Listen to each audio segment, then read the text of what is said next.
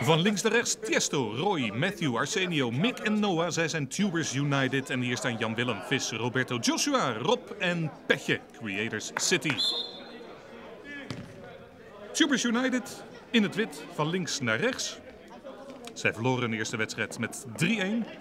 En Creators City won hun eerste duel met 3-2 van de bankzitters. En dit is Joshua, de man van het mooiste doelpunt van vorig jaar. En Roberto dacht, laat ik het zo proberen. Dan gooit er een oerkreet uit. Hij wilde het mooiste doelpunt van het toernooi proberen te maken. In het doel bij de Tubers Noah, uitstekende keeper, gaat eh, bij SC Utrecht meetrainen. Dat knap, zijn ontwikkeling, lang niet buiten gespeeld. Het verhaal is uh, misschien wel bekend. Roberto en Arsenio, misschien wel de beste voetballer uh, hier in de zaal. Profvoetballer geweest, heeft een voetbalacademy. En daar Roy. Coach Roy, die aardig uit de voeten kan hoor, in de zaal. Veel puntert, en dat is best handig. Om hem zo hard en direct op de keeper af te laten komen. Meneer Matthew en Roy met de eerste grote kans. Moet draaien, duurt net wat te lang. De redding is van Rob Hoeks, ook een prima keeper. Ja, dit zijn twee uitstekende teams met goede keepers en balvirtuozen in het team. Kijk maar eens naar deze van Joshua. Die speelt tegen Matthew. Die is hier aan de bal. Die twee gaan een uh, YouTube-kanaal beginnen met uh, voetbaltricks. Balverlies van Mick. Daarmee zijn bijna alle spelers van Tubers United uh, genoemd. We hebben ook nog Tiesto, niet te verwarren met de DJ. Hij is vriend van de bankzitters. En daar weer Joshua. En Roberto, de aanvoerder.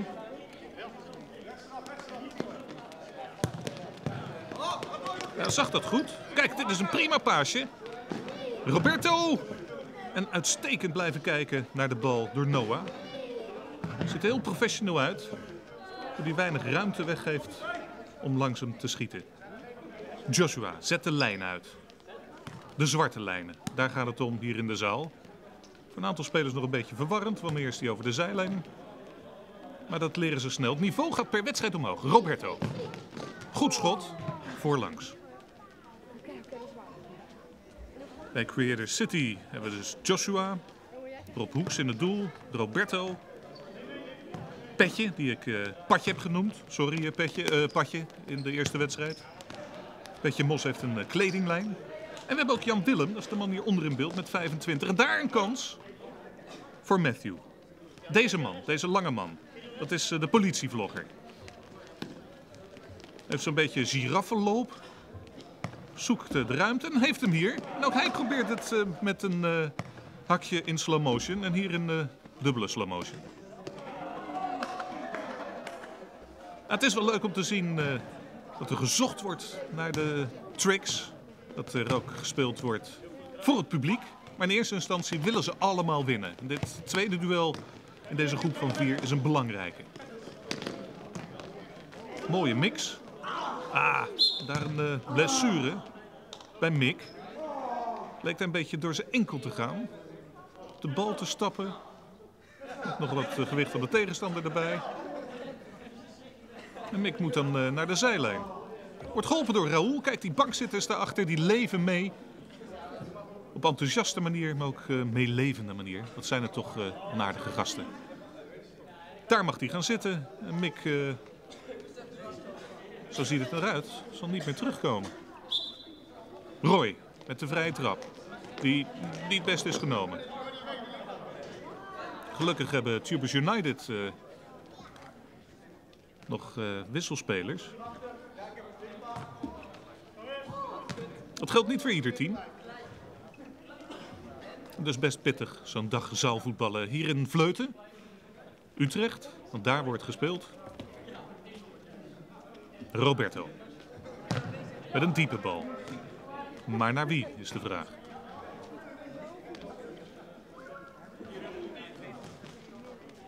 Arsenio. Heeft bij AZ nog even gespeeld. Cambuur onder contract gestaan. Komt tijdens de eerste wedstrijd, dat is het maar goed ook, want de Tubers United hebben die extra man nodig. En het is ook een versterking hoor, die Arsenio. Maar Creator City heeft ook een prima team en houdt goed stand. Joshua. Joshua met de actie. Joshua, oh wat een leuke trick. Joshua! En daar is het eerste doelpunt niet. Kijk eens hoe hij dit doet. Eerst die passeerbeweging en dan dit. Let op. Hop.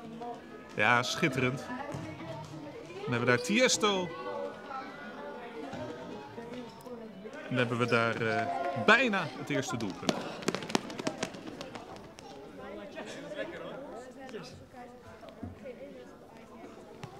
Even uithijgen. Wanneer je buiten voetballen gewend bent, dan kun je iets meer verschuilen in een team van 11 man. Dat kan in de zaal niet. Dus de conditie gaat zeker een rol spelen.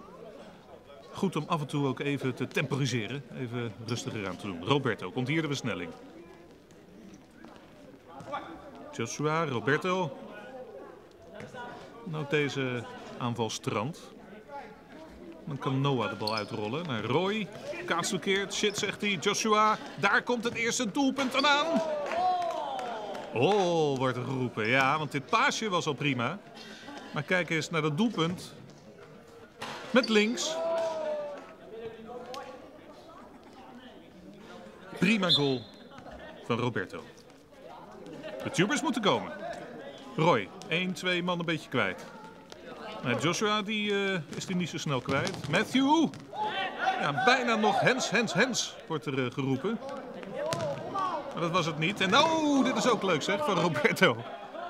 Ja, die uitgooi, uitstekend.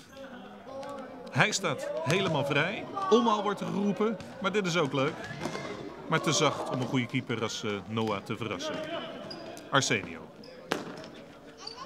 Arsenio, van hem moet het nu komen. Of van Roy, die vrij makkelijk scoort uh, doorgaans. Rob, Hoeks. Petje. Senior doorziet dat. Dat is uh, prima gedaan. En doorzien. Maar Arsenio gaat het nu uh, zelf proberen. Wat je niet doen, Petje. Wat je niet doen. Dat je niet doen, wordt er gezegd. Hou hem gewoon voor je. Niet happen.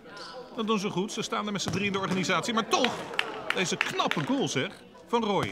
Weinig ruimte nodig. In de hoek met drie man voor zich. 1-1.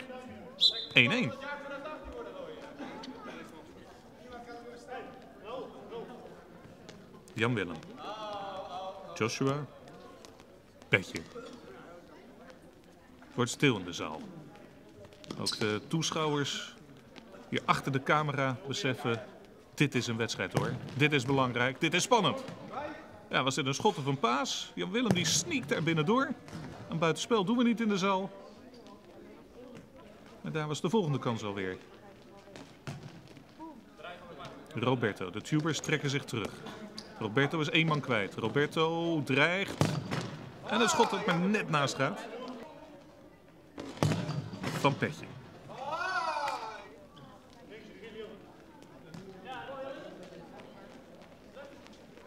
Arsenio. Goede combinatie. Roy. Ja, dat zag eh, Matthew goed, daar links in het hoekje. Dat Roy vrij stond. Maar nu omschakelen. En Joshua voelt dan aan dat dat omschakelen door twee man gebeurt, tweeënhalf. Dan liggen er dus kansen en dan is daar bijna de uithaal van politievlogger Jan Willem. Matthew en Arsenio.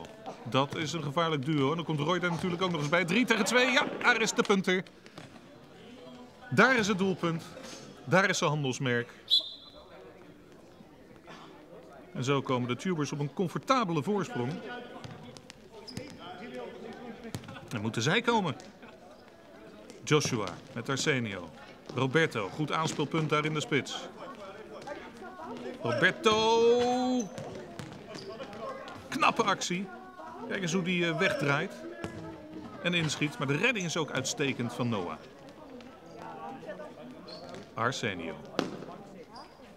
Met Joshua bij hem. Dat zijn mooie duels. Die twee zoeken elkaar ook eh, op, dagen elkaar uit, bewaken elkaar. Schitterend. Dit is iets minder schitterend. Maar het is ook niet zo'n gekke gedachte hoor, om de bal eens achter de laatste linie te leggen wanneer die ver naar voren staat. Roberto, wie pakt hem op? Niemand, maar het hoeft in dit geval ook niet.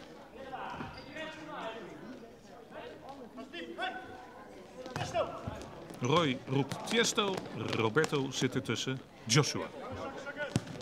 Joshua Achteres.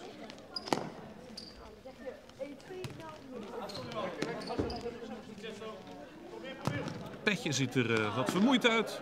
Kijk, ja, dat omschakelen, daar gaat het nu om. Wie heeft die energie nog? Hoe hou je de linies bij elkaar? Anders speel je er zo doorheen hoor, er nummer twee staan uh, van je team. Joshua.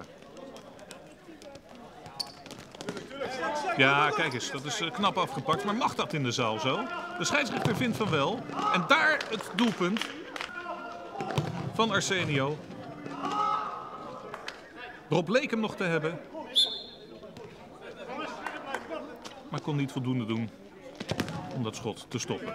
Met je wanhoopspoging hier van eh, Jan Willem. Daar schrikte Arsenio niet van.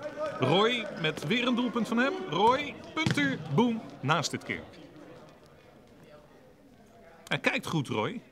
Scheelde niet veel. Het is goed om hem kort te houden. Want wanneer hij uit kan halen met zo'n puntertje, dan is het gelijk gevaarlijk. Zit er goed tussen hier, uh, de coach. Maak af, maak af, wordt er gezegd. Maar dat gebeurt uh, niet. Chesto met een kans die hij laat liggen. Wel een corner die volgt. Roy neemt de hoekschop. En de hoek uh, de Creators FC-vlag. Het uh, toernooi staat natuurlijk in het teken van de Creators. Dat fantastische team dat buitenwedstrijden speelt. En nu dus met vrienden hier in de zaal dit toernooi speelt. Arsenio, Roy. Roy, op de paal. Oeh, en in de herkansing Arsenio. Maar kijk, hij heeft maar heel weinig ruimte nodig. Vanaf de zijlijn. Let op. Boom. Paal. Ja, dat zou je van Arsenio verwachten dat hij deze wel op doel zou kunnen schieten. Maar hij moest het met links doen, terwijl hij redelijk tweebenig is. Hier schiet hij tegen de kont aan van, uh, ja, zeg maar zijn rivaal. Oh, dat is niet uh, handig genomen, maar hij corrigeert het zelf. Een tweetje met uh, een politievlogger. En ja, zo'n kans moet je Roy niet geven. En zo loopt Tubers United weg van hun tegenstander. Opvallend makkelijk weg van Creator City. 12 minuten wordt er gespeeld. Tijd gaat natuurlijk ook dringen. Daar is Roberto met weer zo'n typische actie. Lichaam een beetje leunend naar zijn tegenstander. Draaien en schieten. Dat is zijn stijl. En daar is het laatste fluitsignaal. Een dikke overwinning wordt het voor de Tubers United tegen Creator City. Twee kanshebbers op het winnen van de titel. Dit is de stand. Strijders FC staat eerste. Tubers United en Creator City tweede en derde. Bankzitters vierde. Maar die gaan de volgende wedstrijd spelen. En die moet je zien hoor.